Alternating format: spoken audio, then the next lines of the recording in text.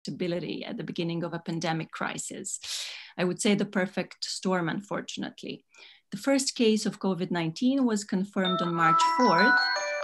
And on March 3rd and on March 4th, what we saw was a government reshuffle that brought again new faces to the forefront and more turbulences, such as the dismissal of Prosecutor General Ryaboshapka, which was assessed as damaging Ukraine's uh, reform track record. Um, just a few days ago, the IMF has worsened the outlook for Ukraine's economy uh, for 2020. In particular, the GDP drop uh, from 7.7 to 8.2, as was predicted in April. It will start uh, growing again only in 2021, and that by only 1.1%. In addition, we also see predictions for uh, high unemployment rates. Uh, it will fluctuate, according to the IMF, also around 12% for the next two years. So, based on what Zelensky has achieved or failed to do so far amidst uh, these ongoing political developments and this bleak um, economic outlook, we will try to assess today uh, who's driving the policymaking process, what can we expect in terms of domestic reform progress and foreign policy directions from the remaining term of um, the president and uh, his team. Just as a disclaimer, uh, we will not speak today about the war in Donbass and prospects of achieving peace that much, since it is a very vast topic in itself and also not fully in the hands of the Ukrainians themselves. However, if you do questions, uh, do have questions, I encourage you to raise them in the Q&A uh, session. Um, with that said, I would like to introduce uh, our speakers today. Uh, we're delighted to have uh, with us Katarina Mathernova, the Acting Director of EU Support Group for Ukraine and Deputy Director General DG from the European Commission. Katarina, thank you so much for joining us. Uh, we also have with us Manuel Sarrazin, MP in the German Bundestag, spokesman on Eastern European affairs of the Green Party. As always, great to have you, Manuel. Uh, Susan Stewart, head of research division uh, on Eastern, uh, Eastern Europe, Eurasia at the Stiftung Wissenschaft und Politik. Again, thank you for accepting our invite, Susan. It's always nice to have you. And last but not the least, Iryna Solonenko, who's an associate fellow with us at DGAP, uh, and with who we wrote recently a paper on rule of law reform during Zelensky's first year in office. Welcome, Iryna, to you too. Before we start uh, with the intro remarks in a, a short discussion with, uh, with the four speakers, I would like to ask my colleague uh, Marina Sontseva to quickly give us a 10 seconds IT notice uh, on uh, what, can, what, what can we expect from today, like unmuting your microphones, please. Irina, you have, uh, Marina, you have the floor. And dear all, also welcome from my side. Here are the um, housekeeping rules uh, for the Zoom call for today. Uh, if you want to ask the question or make the uh, comment, just write uh, a short plus sign in the chat. Or you may uh, also use the raise your hand button. You will find uh, the raise the hand button in the participant list, just give us the sign and we will give a, uh, the floor to you. Uh, while you're speaking, don't uh, forget to unmute yourself. We have uh, put you on mute automatically for now. And you may also switch between the gallery view and the speaker view in the upper right corner of the screen as it is most convenient for you. And uh, we are also recording the event and we are having a YouTube live stream and I will provide you the YouTube link into the chat and please uh, feel free to share it with your colleagues who could not join us uh, today. Thank you. Thank you very much, uh, Marina. Um, as I mentioned, we will start with a few rounds of short questions to the speakers and move to the Q&A. Um, so we have um, in a way, grouped questions around three blocks today. We cannot look into the future. Um, Marina, I think you're sharing your screen with us. If you could uh, turn that off, um, please, that would be nice. Thank you. Uh, we have uh, grouped our questions today into three different uh, um, into two into three different categories. One is looking briefly back uh, at the achievements and um, um, um let's say um, reform progress in Ukraine to be able to then comment on what do we expect next. We also want to look at domestic actors and the decision-making process and finally at the foreign policy directions uh, for Ukraine uh, in the next one to two years. Uh, with that said, I would like to start with uh, Katarina uh, by uh, asking you, how do you um, see the reforms undertake, undertaken during the first year of Zelensky? Which ones do you see, Katarina, as being the most successful ones for Ukraine? Thank you very much. And uh, thanks to DGAPE first for organizing uh, this uh, webinar and also for inviting me. Uh, now that I wear the double hat of my deputy director general job and the head of the support group, uh, I can I can delve into matters of Ukraine even deeper than I than I uh, already used to. So it's really a pleasure to to be here. Uh, well, first let me let me look at the um, uh, let me look at the uh, first year of Zelensky from, from the following perspective. He came into office with a huge promise of uh, uh bringing economic prosperity, ending war in Donbass, and, uh, and stopping corruption and oligarchic interests. Uh, this was certainly much, much easier said than done uh, setting high goals is, is, is always good, but uh, I think we are now seeing a situation where uh, the regime and the, and, the, and the transformation in Ukraine is getting into uh, normal, uh, more normal pace because Zelensky started with uh, what, what everybody dubbed turbo, turbo regime, of uh, tremendous number of reforms uh, adopted in the in the first uh, four months uh, or five months of the of the office, and these were extremely important. Uh, essentially, the whole economic uh, area got re-regulated, and a lot of things that were stuck for three years under the previous government suddenly got unblocked because of the large majority that uh, Zelensky had in the parliament. Just to name the few, was uh, was uh, big facilitation of trade and customs, concessions law, market surveillance law, uh, uh, banking uh, regulation law. Um, and law on economic operators, etc. So this really gave gave the initial very strong impetus. along with that came energy reforms.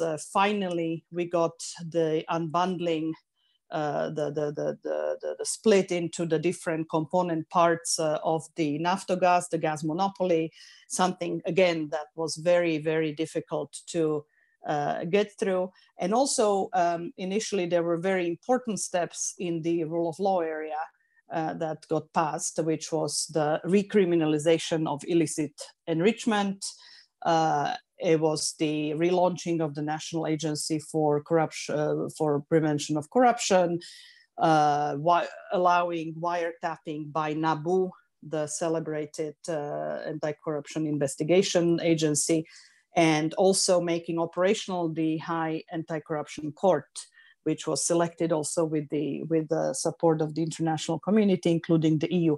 So there was really I would say, an unsustainable level of, uh, of uh, uh, reform activity. And, and, and that's, when, that's when we came into the new year. Uh, uh, some of the oligarchic interests started uh, bubbling, bubbling up again, and then came the COVID crisis. Katarina, so, if, if I can stop, stop here, here. Yeah, yes, we, and then we came the go. COVID crisis, and so I think a lot has been achieved in the COVID crisis. Land law and banking law got uh, adopted, and, and he spent a lot of political capital. But of course, concerns for the future remain. And with that, I think uh, Mr. Sarrazin is going to come in on what was not achieved, right? Yeah, thank you, Katarina. Before, let me ask Susan. Susan, do you agree with Katarina's assessment? What, what do you make of Zelensky's most important achievements uh, this year? Uh, well, I agree in large part. I, I, I agree that um, in terms of this uh, entire economic block of reforms, it's been uh, very important that this has that ha this has continued. That some things have been unblocked, as Katarina said, and uh, I think it's been important that the national bank has remained independent and that the the macroeconomic situation has. Um, I mean, now we're in a different phase, but at, at the beginning, sort of last second half of last year, uh, was able to remain uh, fairly stable. Uh, I, I, also agree that the unbundling was was a huge milestone in the energy reform.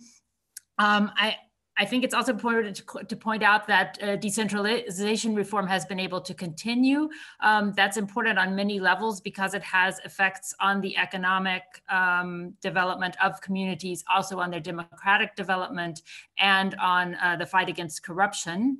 Uh, and I, I, would say that it's not it's even though you said we're not going to talk about the Donbass and it's not really a reform area, I still think it's important to at least mention uh, the impetus that was given in the in the second half of last year by Zelensky and his team in terms of the new bridge in Stanitsa Luhanska, in terms of the prisoner exchanges, in terms of the disengagement in three areas. So leading up also to the Normandy 4 summit in Paris. So I think that should at least be, be mentioned and acknowledged here. Um, one concern perhaps if, that I have is that because of this turbo mode and also now because of the extreme external pressure from the IMF and the need, uh, the desperate need in Ukraine to have IMF funding, uh, my fear is that uh, there will be a, an acceleration of a trend that we've seen in the past, which is that you have laws, but then uh, uh when you get to the implement state, implementation stage, uh, you run into major problems because there are uh, vested interests that are actually against those reforms. Thanks, Susan.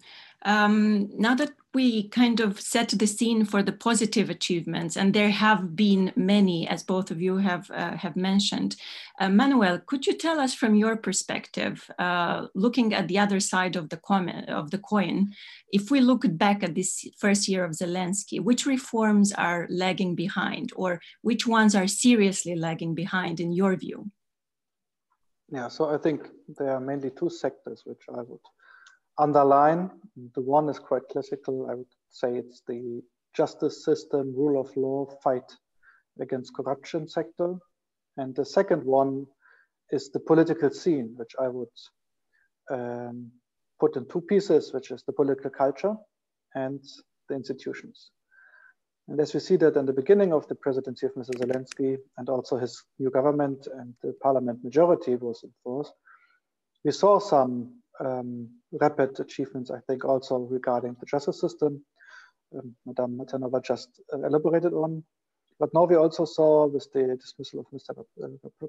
Ryaboshapka um, and uh, also the new pressure on the NABU that um, uh, Zelensky seems to have a different course also in this topic, and it's more or less coming to the old-fashioned style of, to a certain extent, political use of um, the prosecution uh, for political purposes and influence from parliament and oligarch uh, on um, prosecution. So I think that this is a major point where we see actually a bit like with Mr. Poroshenko, how the presidency have, how within the presidency outlooks can be changing.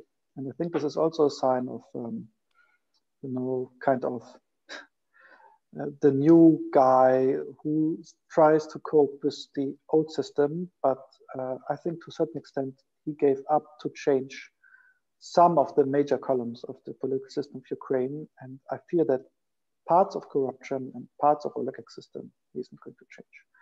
The second point with the political institutions and the political culture, I think it is really major. From the beginning on, Zelensky was kind of guy who said like, I will kick all the backs in the country and show you that change is possible. And um, let's say this seems to be positive, but on the other hand, it's a classical problem of post-Sovietic countries that they always believe in the one messiah who will kick enough backs to bring all the good about the country. And actually, this is a classical way into a typical post Sovietic kind of leadership with the father of fatherland, who's this time really young enough to not be a grandfather of the fatherland.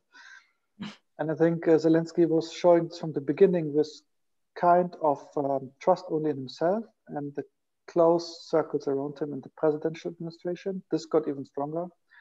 And he, from the beginning on, didn't want to have other institutions like parliament or like constitutional court or like uh, independent institution regarding corruption to become too strong, but also regarding government. So you could make a joke like, where you have a worse job as a prime minister in Russia or in Ukraine, it's a hard competition. Um, but I think this is a structural problem. The culture of him to, to all deciding on himself, the influence on him, which is strong from different directions, where I think in the beginning we had this, we had a small over um, pressure or small over advantage from the reformist side, and now we see that old oligarchs are coming back on this on the scene. Let's speak about the oligarchs just a little bit uh, later, uh, Manuel. But I would like to. So, you raised two important points here the lack of investing or building stronger institutions, and also the lack of investing more or changing the political culture. I think this also, in a way, brings the question you know, is this feasible as an expectation for, for one year? But definitely, the, the impulse that one gives from the presidential seat is, is very important. Let me ask Iryna uh, here. Uh, um, what do you think? Do you agree with with uh, Manuel's assessment uh, on on on this? And maybe you could tell us a little bit more on uh, where the the um, reform of the judiciary and anti-corruption institutions stand, since we have both delved into this uh, quite at length uh, in our paper on on rule of law reform. Iryna. Thank you, Cristina. I pretty much agree with Manuel, and it's a bit paradoxical because fighting corruption and um, improving judiciary was one of the key points of, uh, during the Zelensky campaign, and he basically failed on those. So we, we saw some uh, reform activities on his side. For instance, he submitted an important law in um, autumn to relaunch uh, or to reshuffle uh, two important institutions in judiciary, the High Council of Justice and the um, uh, High uh, Qualification Commission these institutions are actually uh, in, responsible for reshuffling the whole judicial corps, which would be really important for Ukraine. And because the law gave too much powers to the High Council of Justice, this institution basically hijacked the reform. Moreover, on the ground, we saw really strange developments, like the uh, chairman of the Kiev um, District Administrative Court, uh, was reinstalled in January. Uh, to his position, um, uh, although uh, he has really bad background and it was um, pointed out by anti-corruption activists. Um, um and Zelensky never even commented on this. And after the Constitutional Court uh, uh, ruled the reform of the judiciary, Zelensky initiated as unconstitutional. So most, most provisions were actually canceled he also didn't react. So basically, we saw that Zelensky um, didn't take any political leadership over this issue. He uh, didn't have a strategy. He didn't commit himself. He didn't demonstrate any commitment to carry out this reform. And in terms of the corruption, most institutions were established before Zelensky came. We saw some improvements under Zelensky, for instance, the National uh, um, uh, uh Agency for Countering Corruption um, improved its work and uh, cooperation between NABU and the High Anti-Corruption Prosecution uh, and um, is improved. Uh, but still, uh, he's, uh, the, fact, the way is he fired Shapka and appointed Venediktova um, uh, as a head of the prosecution that he fired recently Maxim Nefedov, who was behind the ProZorro system, which was recognized as the best system, one of the best systems for public procurements. He was the head of the customs service. He was also fired without uh, further explanations, basically. Uh, so we don't see that he has a strategy, he has a vision, um, and he hasn't achieved really much or anything actually in these two domains since his presidency. Thank you, Iryna. Um, Katarina, since uh, is uh, very much uh, on the topic of the judiciary reform, anti-corruption uh, reform as well, um, what do you think? Uh, do, you, do you agree with this assessment of Manuel and, and Irina? And also maybe even a more important question here is, you know, what does overall Zelensky's track record so far say about the prospects of keeping the momentum for reform for the next one to two uh, years.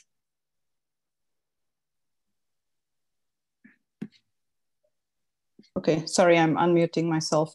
Uh, thank you very much. I'll, I'll try to be briefer this time.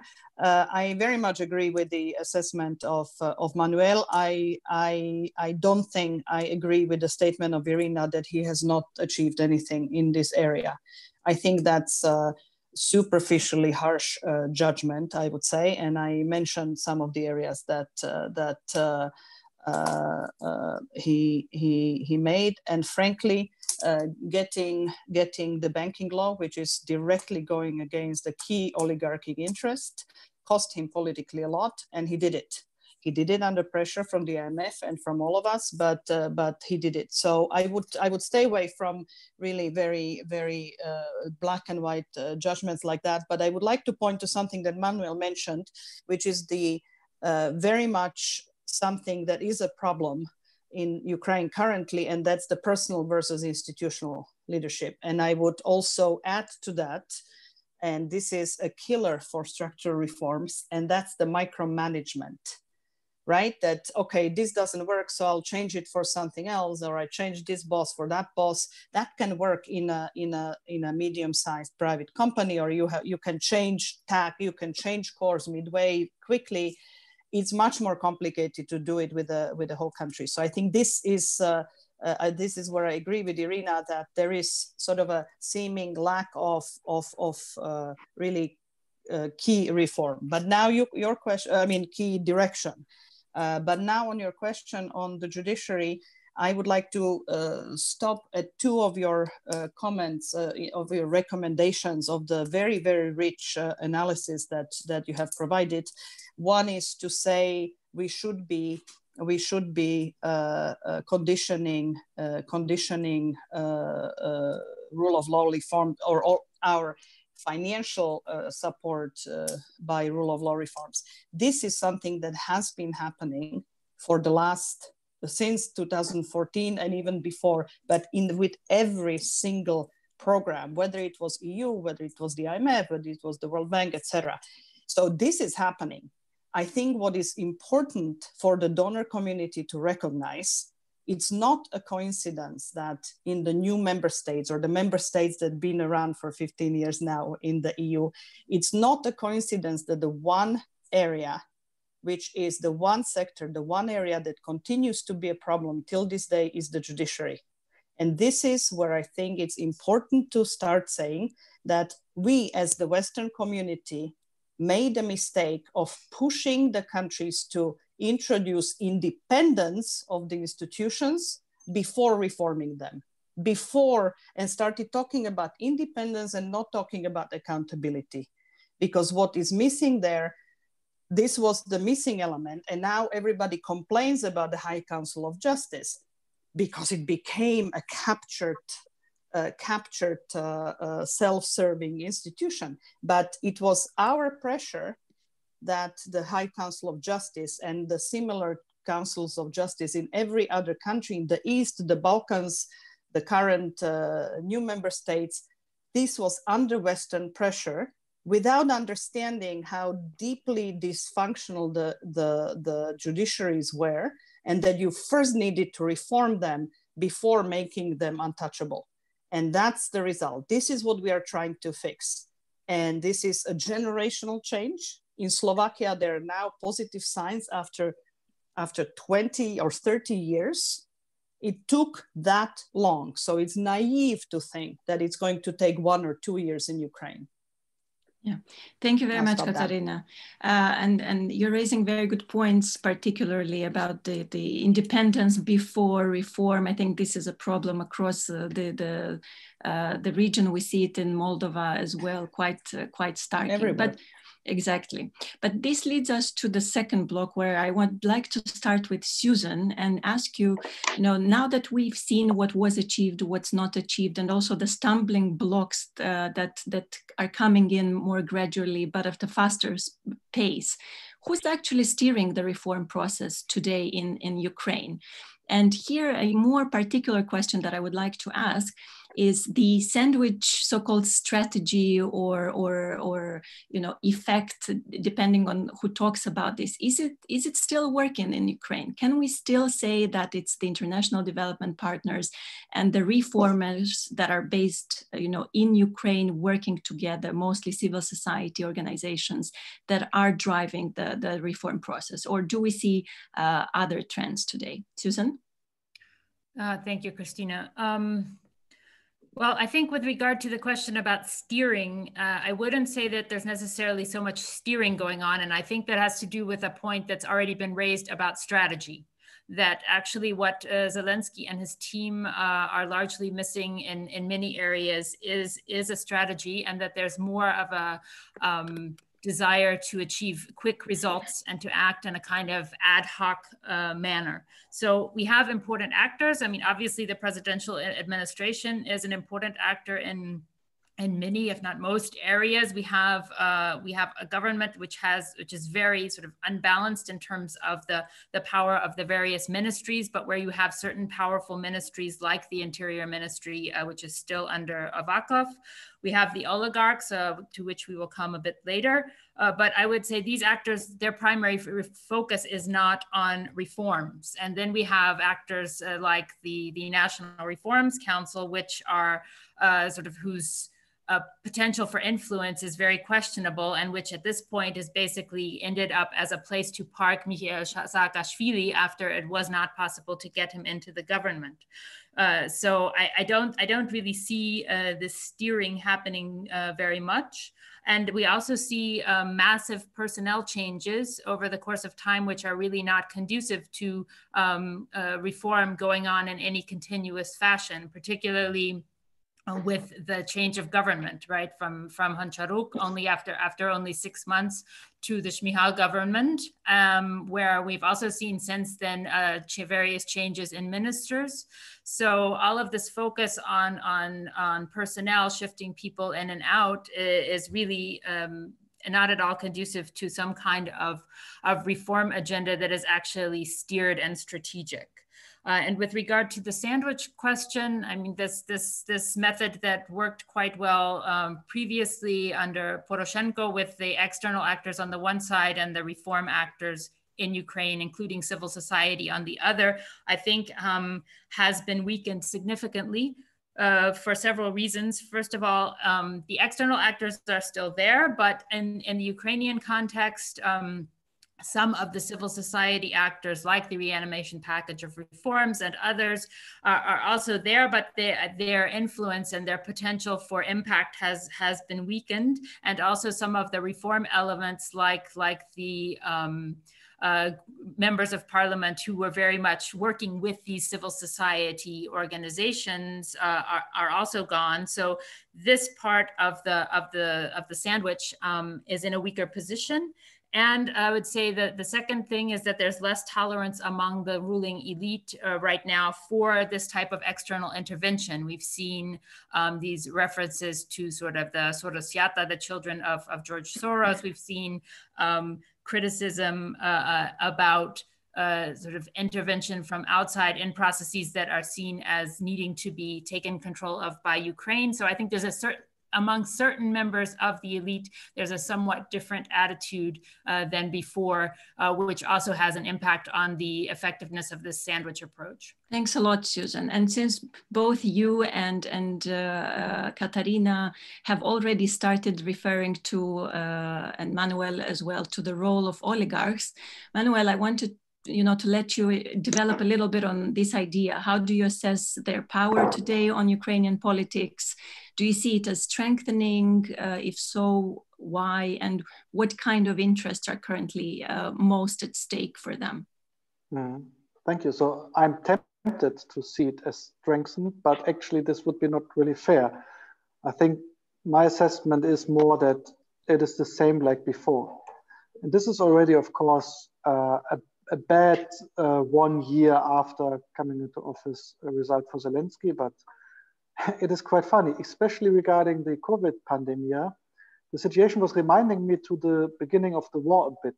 Yeah, in a situation where you don't know how to steer the country anymore, you have the uh, regional oligarchs, the lords, the regional lords, who are asked by the president to organize uh, the crisis. And I think this is a clear signal for what has happened before as well. My assessment is that uh, Zelensky um, has a strategy. He wants to be re-elected. Uh, when he got in office, nobody was sure if he really wanted to stay in the office really long. I think it's clear that he wants to be re-elected. And uh, he doesn't matter too much about how, um, and he tries to do it by power politics in a classical manner. And uh, he's trying to, you know, like stand on different uh, groups, uh, especially in the east and of the country, and trying to steer in the way that uh, his uh, his um, electoral base is, is, is, still there. So we see that uh, he's making a deal with Akhmetov clearly. On the same time, he's also uh, focusing to other actors from the old um, Partia of Regions bloc from the old Yanukovych times, and the reformists are really weakened. On the other hand, if we are honest, also Mr. Poroshenko had a clear deal with Mr. Akhmetov and other really, really, really fishy oligarchs in the east and the southeast of the country. So it is not a real new situation. Interesting is that uh, the winning turn of uh, Kolomoisky, which seemed to be um, uh, um, the office overtake of um, Zelensky, is to a certain extent sure that his power is extended, but it is not a clear, you know, uh, governing through of Mr. Kolomoisky, and obviously also Mr. Zelensky is trying to um, have other oligarchs in his in his team to a certain extent to have kind of balance of powers in there. My assessment is this is classical way of Ukrainian politics, and with a young face only. In Germany, we say old uh, uh, old wine and new uh, Schläuchen. So some of the better English fluent speakers can translate it. Um, this is more or less my assessment. And um, to be fair, you know, this has always been this way, but also to be fair, this is one of the major, major problems of Ukraine. Um, and uh, I think that, I mean, to a certain extent, you will have to play with oligarchs as well if you want to reform the country, but not in this manner of the president is deciding and he's talking to a group of people what is to be decided. But uh, perhaps sometimes you need to accept that in parliament you have lobbyists from different oligarchic groups but anyway, you have to treat the parliament really well, like a real institution, to get in the later turn uh, the parliament with a self-esteem who can also fight against oligarchs. But not in this way. I'm sitting around the table and with the real powerful guys undecided. Thanks, Manuel. Um, here I want to move on from your idea that the oligarchs are still there, they're not going anywhere. Uh, the way how we assess their power strengthening or weakening, weakening, it's still uh, not not not clear, not defined. You say it's still it's it's more or less the same as, as it used to be, but this has always been a, a a problem for the reform process going forward. So here, Katarina, I would like you to come in and tell us how do we help the Ukrainians, you know know, to help overcome this veto power of the vested interest, since the country has committed to its uh, European path, to its European future. However, we do have domestic stakeholders very much invested in keeping the status quo. How can we uh, help uh, the, the, the, Ukrainians, the, the reformers, to, to be able to overcome uh, this veto power of, of oligarchs? Uh, thank you. Uh, I'm smiling because when I was listening to to uh, Manuel, uh, I must say that that would be for a separate uh, separate webinar discussion about financial interests and their impact on capturing policy making in Western Europe, in Eastern Europe, in the US. I mean, I think that one needs to uh, I think that with everything that's coming out about uh, various uh, various influences, one again, I think we should acknowledge that that influence of uh, money on politics is is not something that is uh, unique to to to Ukraine. There are some countries that are further uh, that are more evolved, but but certainly Ukraine is not uh, not not alone in this, uh, even when it compared to to OECD uh, member states. Um, I, I strongly believe, and this is something that uh, again uh, needs to be acknowledged what has been done, but there is still a long way to go. The best way to overcome oligarchic interests is competition and introducing competition into the economy and, and actually closing the space for corruption before the corruption occurs. There was a, there was a Chatham House uh, study on that that even quantified it and this was during the Poroshenko times that uh, Ukraine made took measures that saved six percent of GDP, six billion dollars uh, worth of, uh, of of money that uh, that uh, was before siphoned off to corrupt uh, means. I mean, the biggest ticket was was Naftogaz. Uh, so oligarchs are there it's a, it's a constant struggle, but one thing is very clear, and there are studies de demonstrating that they're much poorer than they were before. So they're still there, they have influence, but they're much, much poorer than they were. And the more the economy opens, the more competition there is in the economy, uh, the easier it will be to curb their influence. The one area where we are very concerned uh, is the hold uh, by oligarchs on the media. And that's something where one needs to be uh, very vigilant, especially in the in the TV uh, sector. And there again, you know, the new media can can substitute partially, but with the large TV penetration in the population, this is a this is a complicated matter, especially because it's combined with the very corrosive disinformation influence by the Moscow uh, channels uh, mixing into that. So that combination is very concerning. But I think competition and and helping decentralization and and and uh, uh, as well as, and this is something where a lot of our support goes, is into the watchdogs and the civil society. I mean, we have we have really invested a lot and and continue to to do so. Iryna, from an insider's perspective, do you agree with uh, with Katarina's assessment, strengthening competition and closing space for, for corruption, with a very important focus also on the on the media environment? How how do you see um, you know strategies for overcoming uh, the veto power of of oligarchs? Mm -hmm. I very much agree with Katarina. I would also add here, it's maybe a different side of uh, strengthening competition creating and strengthening institutions that are responsible for equal access to public resources and to decision making. Actually, avoiding the, the situations when some people, some interests have better privileged access to certain resources and to decision making. And this is what we have in the form of oligarchs.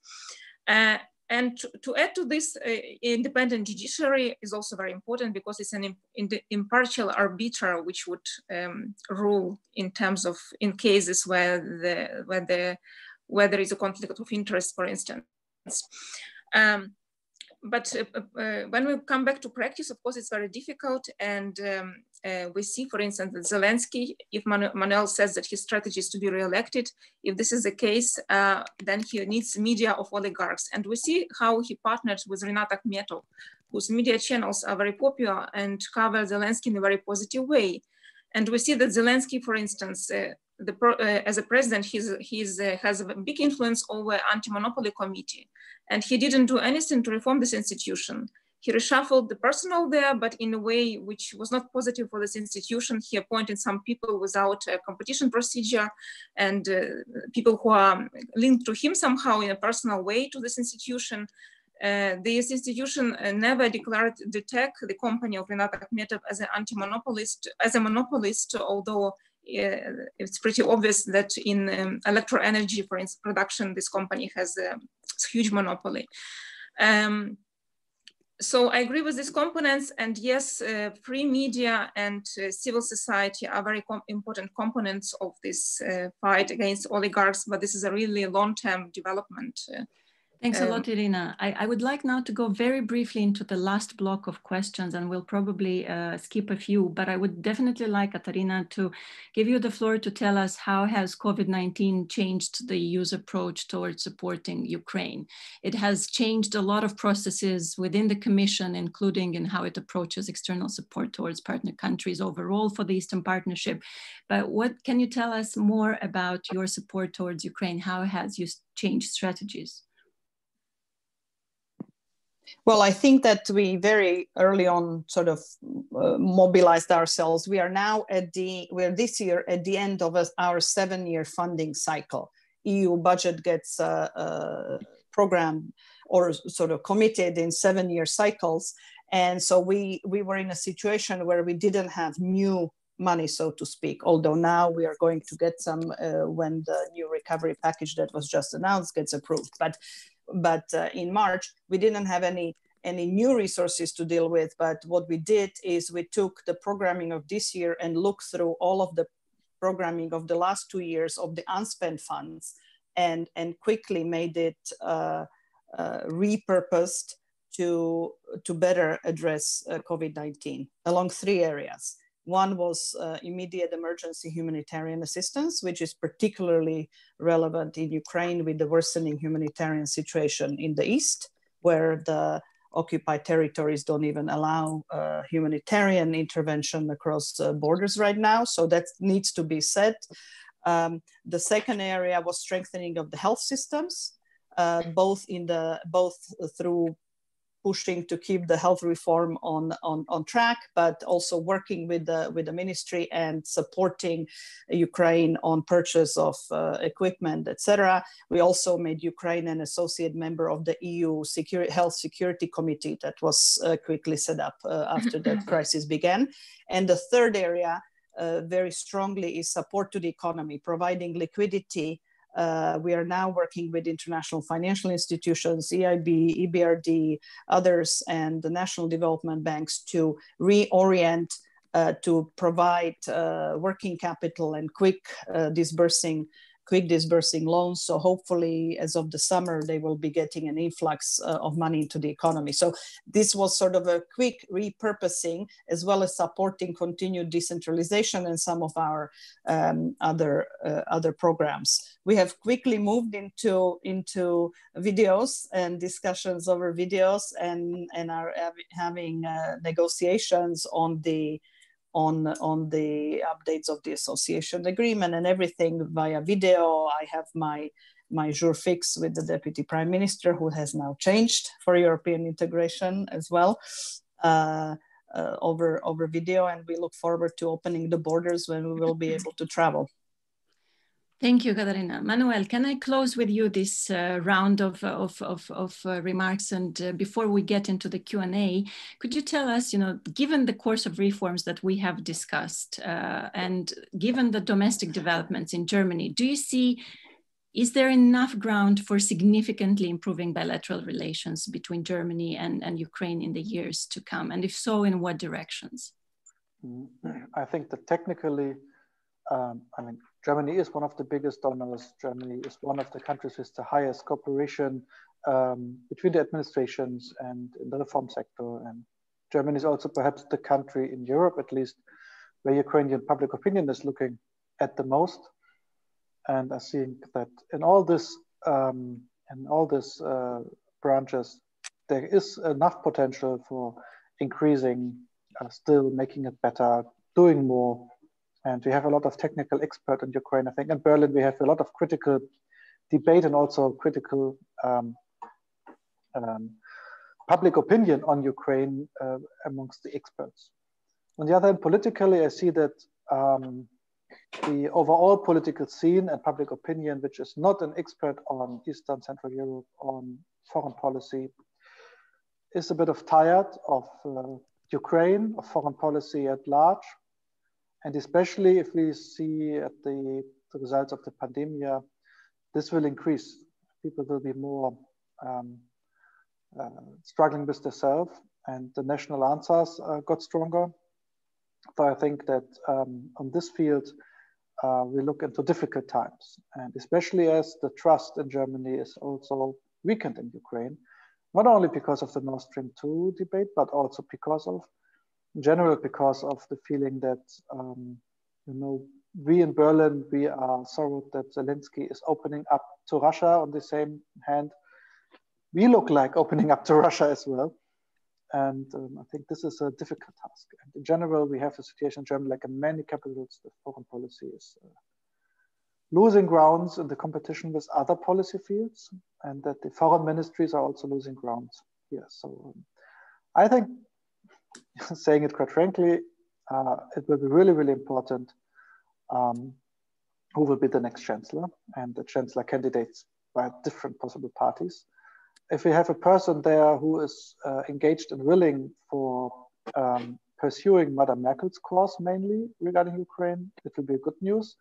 If we have somebody who is not so much interested about the East, or who is perhaps even a more pro-Russian candidate, it might be not so functioning. And I think that in Ukraine, people will look at this quite exactly, and our influence, our leverage as Germany in Ukraine will be massively depending on this. Also, of course, the person of foreign minister, but uh, I think that in the foreign ministry, it is not so much linked to the person of the minister, what will be the cause of the ministry in general. I think in the chancellor, this is a bit more. Thanks a lot. Uh, thanks a lot, uh, Manuel, for these closing remarks. I'm sure I'm really sorry it took a bit longer than we expected, but I hope it was a good uh, back and forward uh, round of questions. I would like now to give the floor to our audience, and I already see uh, two hands raised up, and we will take uh, rounds of questions. So if there are more, just put your hands up or put a sign in the chat box, and I will know that you would like to take the floor. We will start with Mr. Elmar Brok. Then we will go to Orysia Lutsevych and uh, Wilfried Jilge, the first uh, three ones. Uh, please introduce yourselves and uh, try to keep your question or comment uh, short. Thank you. Uh, Elmar Brok, you have the floor.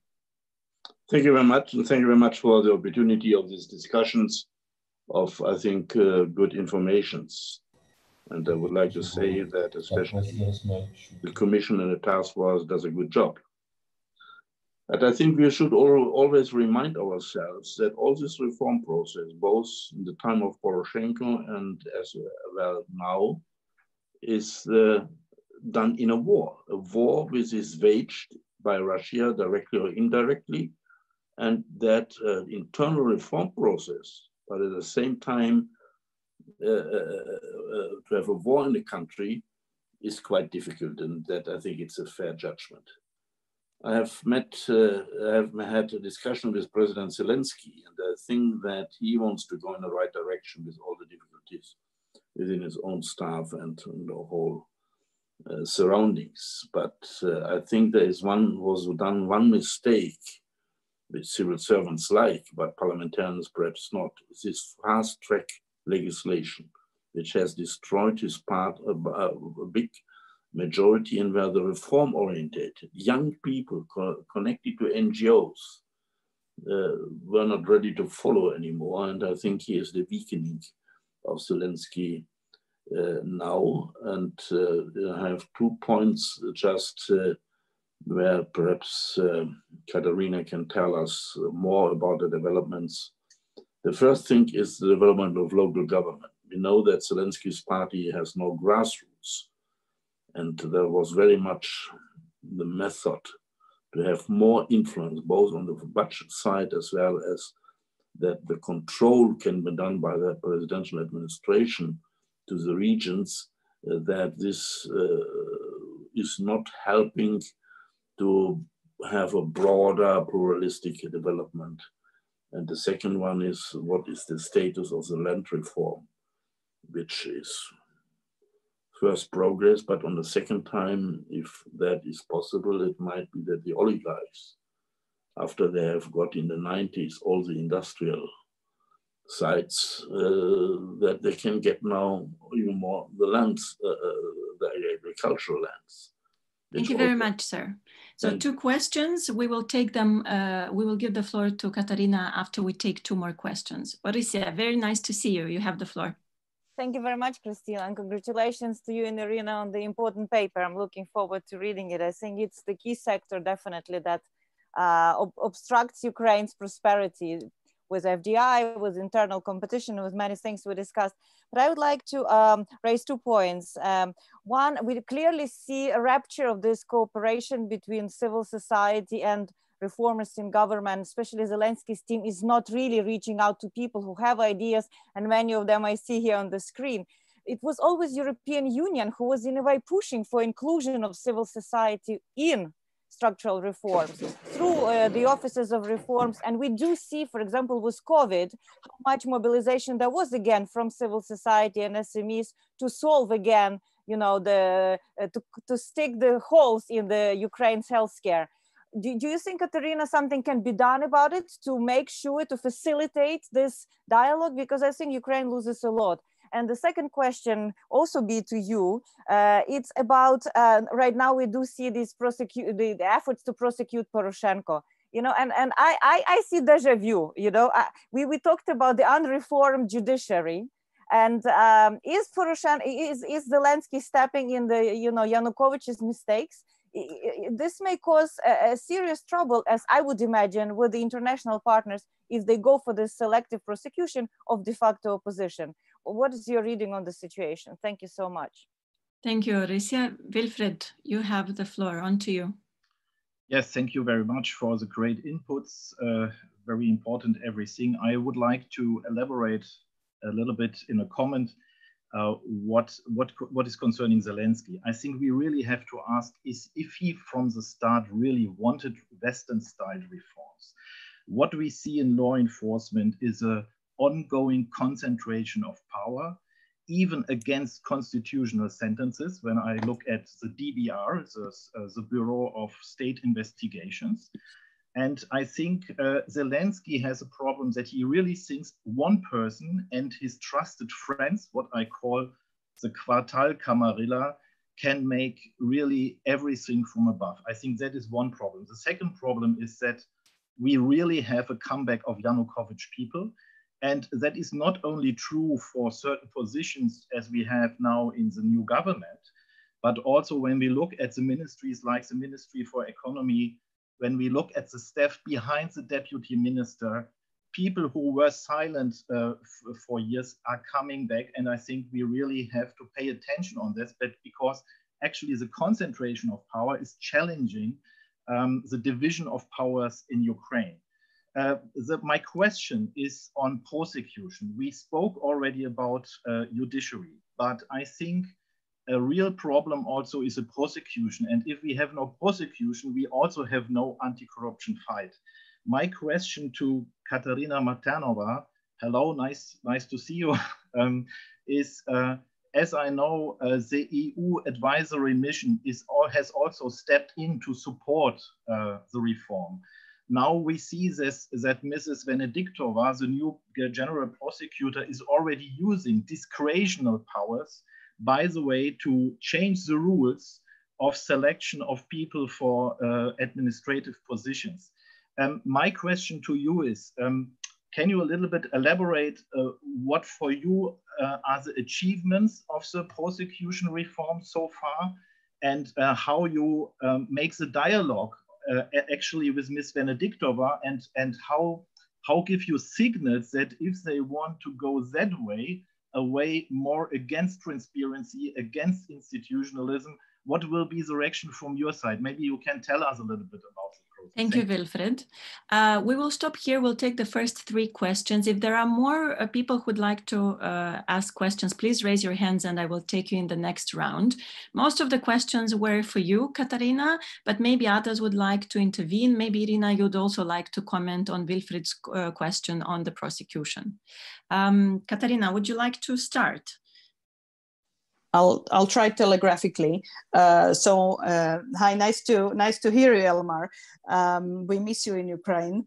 Um, I very much agree with your assessment that uh, he he lost ground with a lot of the parliamentarians by by bypassing the regular parliamentary procedures in the in the fall and but now i think the parliamentary groups are getting a little more confident and that's part of the reason why there is uh, not as easy to get uh, get majority on on on key legislation as it was uh, as it was before the local government i think is very what uh, what also Susan mentioned, one of the key uh, achievements was to to diffuse the attacks on the decentralization reform uh, for now. I mean, they may come back again, but I think the decentralization reform, which in my view is one of the key achievements in Ukraine over the last few years, is continuing. We will see how Zelensky will fare in the in the local elections that will come. I think that uh, I assume that he will be having ties uh, tie-ups with with key uh, regional region regional uh, lords in key regions. I, I think that would uh, that is something that one can one can predict. But I, I honestly think that the decentralization has taken hold in the Ukrainian minds when you travel around the country. That hopefully that will that will withstand. Now on the land reform, uh, the land law was passed uh, against all odds, uh, and and in fact uh, cost cost Zelensky a lot politically um, early earlier, I think in March or April. And it's not passed to the extent that uh, we would all like to see with the international community because it doesn't doesn't open up uh, the, the, the, the, land market to the extent that it's sort of very gradual. But I think that one needs to realize what a historical change this is, that there will be market in land. Now, what we are working on with, with our, our colleagues in the various other institutions, the World Bank, IMF, etc., is to push for the second batch of laws that will provide the safeguards on land ownership uh, at, at local level, at national level, etc., to avoid what what uh, you were alluding to, because we are all very much interested uh, in, in in in making sure that it do, the land doesn't get captured by a few, and uh, we actually are putting uh, quite a lot of resources behind land reform in exchange for having the safeguards on on land ownership. Now, um, uh, to Orysia, hi Orysia, uh, on the facilitating the dialogue. I think that we, I think through COVID and with all the changes, I think we are now seeing wake, uh, mobilization in the civil society in, uh, in a sense. And what we do is we, first of all, very much politically encourage the dialogue we structure that into each of our programs very systematically. And as I mentioned, we also finance, uh, I mean, we moved from finance, we actually did quite a bit of reform in the way we do civil society funding to move away from funding to supporting it, to supporting small through pro, pro, not only program but operational grants to sort of make the civil society through our support uh, more more vibrant. So that's something that we we work on. Uh, yes, I agree that there is less of a sandwich effect, as Susan was also mentioning, compared to the to the to the previous previous government, but. Uh, I think the best we can do is to indeed uh, support as much as we can the, the, the, the, the civil society actors. Now on the prosecution reform, uh, maybe Iryna can come in as well. I mean, yes, we were all very uh, disappointed when Ruslan Ryaboshapka was, uh, was dismissed because we had worked very closely with him and supporting him in the, in the reform. And I in fact think that the way he reformed the prosecutor general office itself was quite impressive. And uh, and uh, all I can say is that uh, we will continue we will continue engaging with Ukraine. You know we are partners with Ukraine uh, for bad or for good. So we are as I said in one of the previous seminars last week is that we are critical partners. So we are partners we will continue supporting but we will also continue pointing the areas where where we are not not very satisfied with the developments. Iryna, would you like to come in as well a bit on the prosecution? Yes, thank you. I will add a bit. I agree with Wilfried that in terms of fighting corruption, prosecution, uh, effective and independent prosecution is also a very important element. Yes. And uh, um, yes, it's, it's, it's, we have to recognize um, that Zelensky gave carte blanche to Ryaboshapka, which is very positive to reshuffle the, the personnel, the prosecutors. We know that there was attempt on the Poroshenko to do the same, and Shokin was the prosecutor general, and this all failed. So it's not an easy process to, um, to um, to uh, um, conduct this attestation, attestation and uh, ensure that all prosecutors um, have integrity. And Ryaboshapka did this, at least at the central level. And it's a pity that under Venediktova, we see that it's really, uh, we see that prosecutors that were fired are coming back, uh, they are winning in courts and coming back uh, to their positions. And Venediktova is facilitating this process. Uh, so this is very negative, of course. Um, and uh, um, I would add also a prosecution of Poroshenko is also a very negative trend we observe under Zelensky. We see that there are no grounds for this and DBR is basically used as an instrument for political fight, uh, which is very, which is a pity, of course, yeah. Thank you. I see two more uh, people who'd like to ask questions. Um, if there are more, please make yourself visible. I will now give the word to uh, Victor Savino, please. Uh, hello, it's probably about me. I'm Victor Zamiatin from the Razumkov Center, and if you allow me, I have just a brief remark uh, about the people's assessment of the first Zelensky's year in his office. Uh, we have already conducted uh, our own uh, uh, work on this issue, and it will be published in a couple of weeks. And we have conducted two surveys, one of the uh, public opinion survey and another one the uh, expert surveys. And we have the very interesting results. First of all, we have, I believe, a general trend that majority of people think that uh, the general situation is going on a wrong direction. Uh, 49% of people uh, say so. And only 29% of people uh, say that uh, the situation develops in the right direction. And after the uh, uh, Mr. Zelensky's election in uh, September of 2019, the figures were completely different. 57% of people at that time thought that uh, situation develops in the right direction and uh, about 17% in the wrong direction. Uh, the other thing I'd like to say is that if we ask people about their assessment of the change, of the changes in the situation in several spheres, Uh, they answered that the situation is going worse in the economy of the country, in their own economic welfare, in the level of democracy, in the international image of the country, in the rule of, of law, in the health care, in the pension system, in the wages, and in the uh, level of price and tariffs and in the uh, behavior of the uh, power before the citizens. Mr. Zamiatin, and also yes. if you have a question, could you could you tell us what's your question and to who it is addressed, please?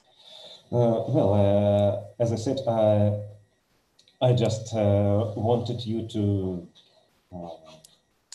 to know uh, some uh, maybe news figures of the situation which can uh, only help you in your assessment. Thank you. Thank you very much for, for, for this input on the, on the opinion polls. Uh, I would like again to try to give the word to Victor Savinok. I see you're having your uh, hand raised. Would you like to take the floor, please? Yes, thank you very much, and thanks to all uh, the speakers for interesting presentations and inputs. Uh, my name is Victor Savinok. I'm a PhD student at Maria Curie Sklodowska University in Lublin, Poland.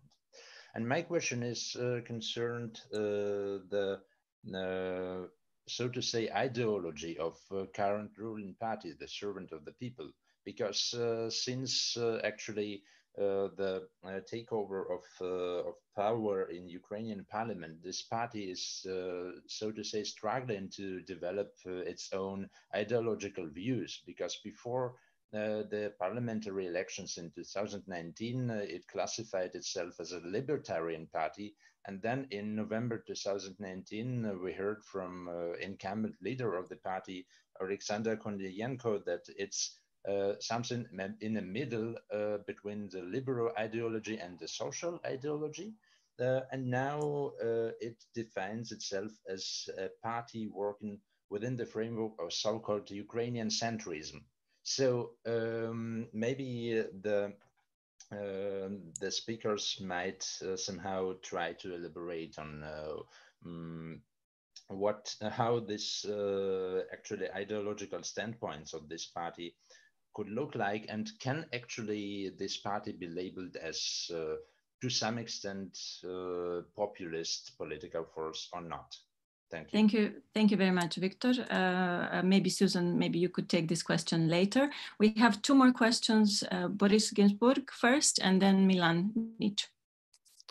Hello, um, my name is Boris Ginsburg. I just recently finished my master's studies in political science uh, at the FU Berlin, and now uh, Berlin, and now I'm um, uh, preparing my research design for my future dissertation.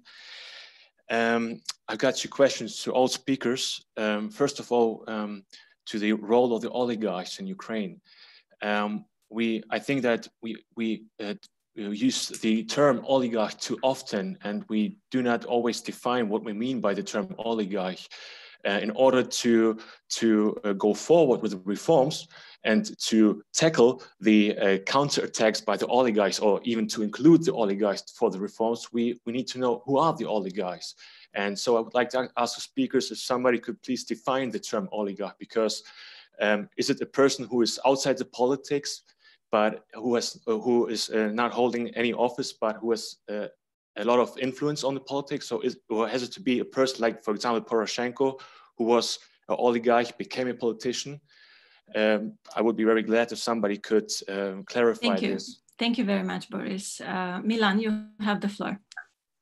Um, thank you, Cristina. Um, I'll be brief as the previous comments were um, a longer ones. I have two questions looking forward for the next few weeks and months. One is about the rumor that uh, Minister of Interior Avakov will be dismissed in coming days. Um, what would that mean for the government? And second question is about the likely opposition to Zelensky emerging from powerful regional leaders or mayors, actually the question would be, except Poroshenko, where do you see a credible opposition emerging to Zelensky in his in the next period of his of his rule in the Ukraine centrist pro-European uh, um, position? Thank you. Thank you very much, uh, Milan. I would like to also ask uh, two more questions, one to Iryna and one to Susan. Iryna, um, while Ukraine has clearly declared its, its choice for European uh, future, uh, as in Germany, as in Europe, there are voices in Ukraine that signal fatigue with the EU, with the fact that it is not reciprocating enough or is not doing as much as it could on various portfolios, uh, such as uh, Donbass or trade. Um, can you tell us a little bit more about the moods uh, towards EU? Can we state that the EU is uh, starting losing a bit credibility in Ukraine. This was also something that uh, Manuel has referred to in his uh, latest, uh, in his final uh, intro remarks. And for Susan, do we, do we see Ukraine pivoting away from the West? I think this is a question that starts emerging, seeing the economic ties and Zelensky going beyond Ukraine, trying to, to forge relations with, with other economic partners. Should we expect this trade consolidating or is there nothing to really worry about? Um, depending on who would like to take the floor first, uh, there were a question on um, on the ideological direction of the Servant of the People Party. Who are the oligarchs? Uh, how do we define it? Um, I think this is a, a a problem that always comes up uh, uh, when it comes to, to definitions. I don't know if we want to go into, into that uh, direction. There was a comment on um, directions uh, where Ukraine is going and the societal moods uh, during Poroshenko, uh, that being higher than under Zelensky currently, and a question on Avakov as well as who is the credible opposition today. Who would like to, to take the floor? So perhaps um, as the negative uh, pessimist might start so that the other ones can be more optimistic. Um, regarding the credible opposition, before uh, you were leaning out to focus this on the pro-West, pro-EU forces, the answer was cl quite clear, I think. And this is uh, Medvedchuk. And I think there is no other credible opposition yet. And this might also lead into a situation that we think that Zelensky is the one guarantee guy for westbound of Ukraine, even if he is leaning more towards old structures, which are, if they're not by themselves pro-Russian, but coming from this old um, Partia Regianev uh, base, they are clearly more influenced by Russian interest um, I think this might be the situation to come. Anyway, um, I think that this is uh, to a certain extent also caused by the fatigue which was mentioned just and that you know the the trust in the political concept of binding Ukraine towards the West has undermined by a kind of reluctance from the European Union to give a perspective.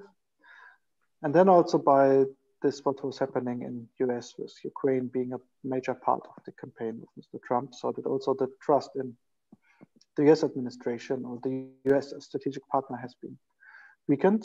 And then of course, in Central Europe, you always ask who might be, which might be the other partners. And um, I think we should be in, in, Europe and in Germany, especially, we should be aware of that we might lose Ukraine much more early than we recognize that we're going to lose it.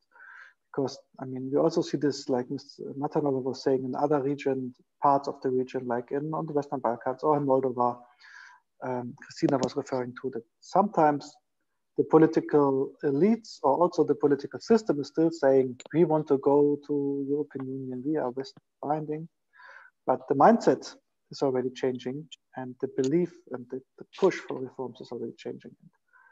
I already see Ukraine on, on this, uh, at this um, crossing point and clearly to say not only because uh, of the Ukrainians, also because of us. Yeah, so not only is a criticism towards Ukraine, but also as a criticism uh, to ourselves.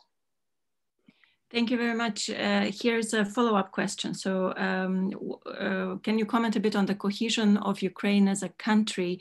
Is it consolidating under, under Zelensky? Just a year ago, we discussed uh, a lot of tensions between uh, the West, the East, and the Southern uh, regions. I mean, this is difficult to really assume from, uh, from Germany. Um, I think it's also difficult to assume from um, from Ukrainian side. Um, he had this concept of bringing everybody together. And we remember this famous picture with the UPA soldier and, and the uh, partisan woman uh, of, the, of the partisans of the uh, Red Army forces, so to say. But to a certain extent, I mean, this can be political marketing, and he's really great in doing this. But Ukraine is clearly um, a, a, political sphere which is consolidated. But of course, in this shifting times, in this shifting world, um, it is not so easy to find a common center point for the society to focus on. This is already true in Germany or in France or in the US.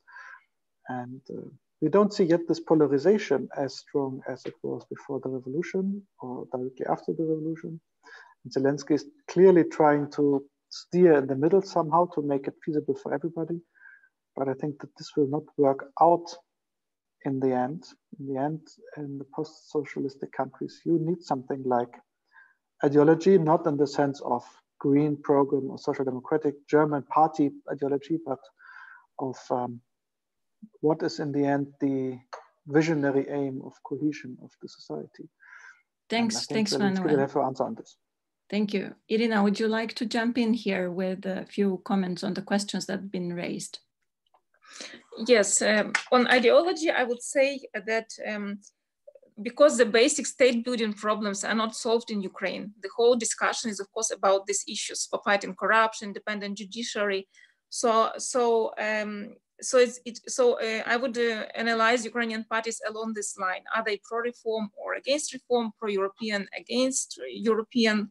Uh, so this, this would be for me the major denominators. Whereas ide ideological issues, it's important to debate on them, but they are less of less importance uh, importance uh, at the current situation in the current situation in Ukraine.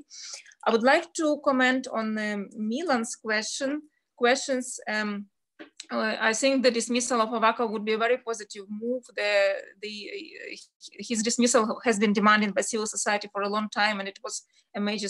It was really surprising that he, that he stayed in the new government and, and appointed in March not surprising, but uh, um, it was somehow not um, not something civil society or democratic community in Ukraine wanted.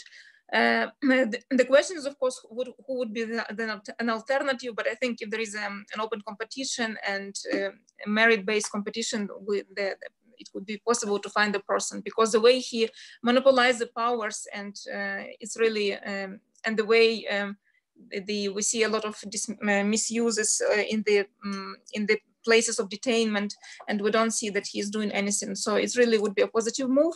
And um, in terms of opposition to Zelensky, it's a very important question, of course. And uh, this is a, a, problem that there is no alternative to basically to him and to his party. Uh, at, the, at the point of parliamentary election, the Golos party was seen as such an alternative, but, but I don't see it has a lot of chances now. And uh, yes, uh, due to decentralization, the, some mayors um, become quite strong and local elected authorities become strong.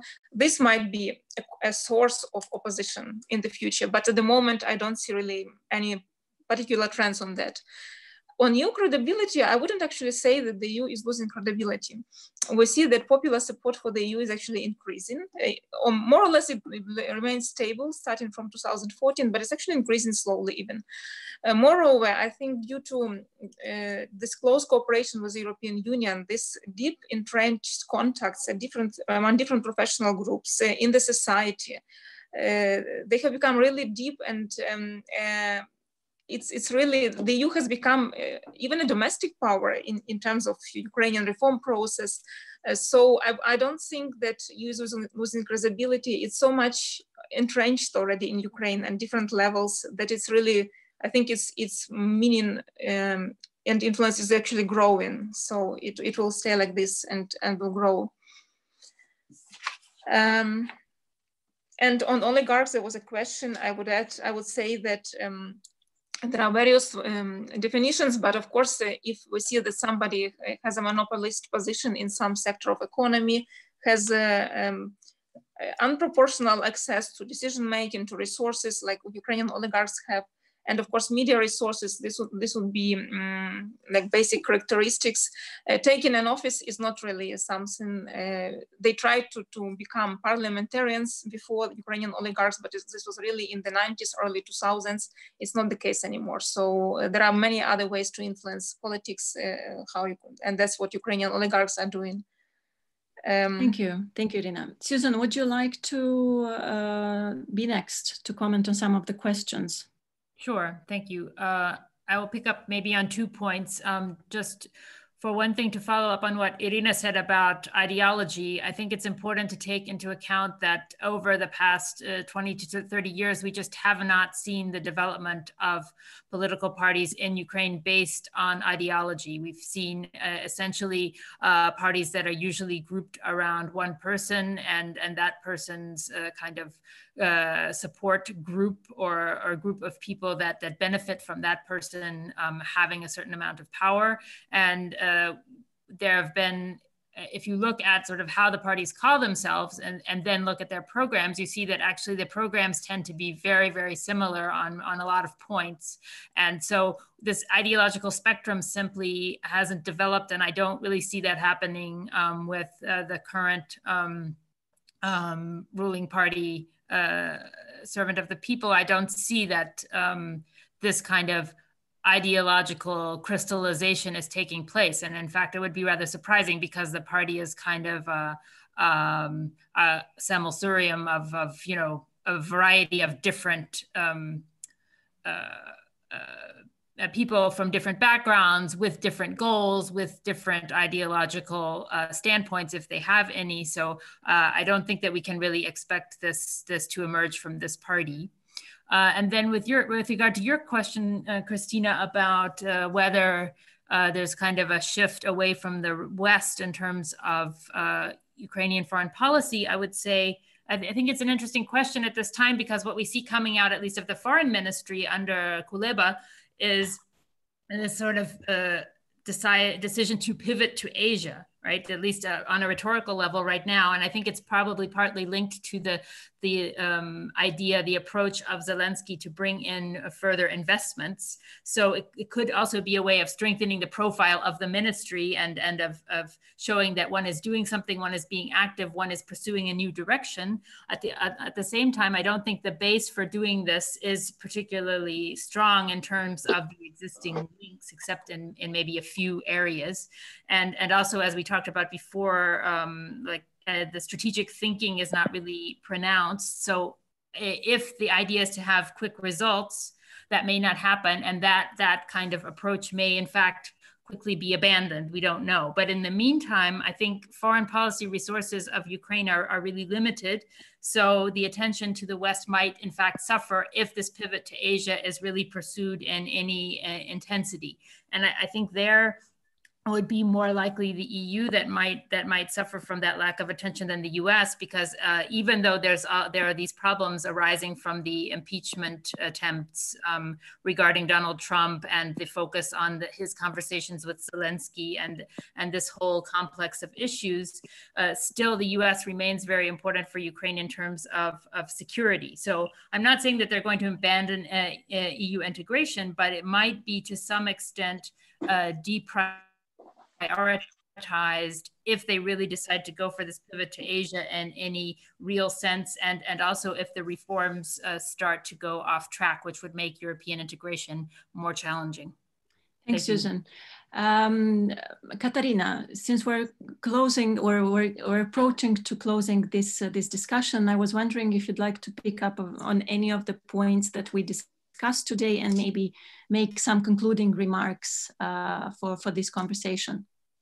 Well, thank you very much. Uh, just two points. Uh, one, uh, and and uh, I take very good note of Manuel's uh, uh, not very optimistic view on where Ukraine will will be on public minds or policymakers' minds in Germany. This is indeed concerning because I think that just looking at the map Ukraine is a strategic partner to Europe, and it's in everybody's interest in Europe that Ukraine stays firmly anchored to the West. I think it's in our interest, not only in the interest of Ukraine.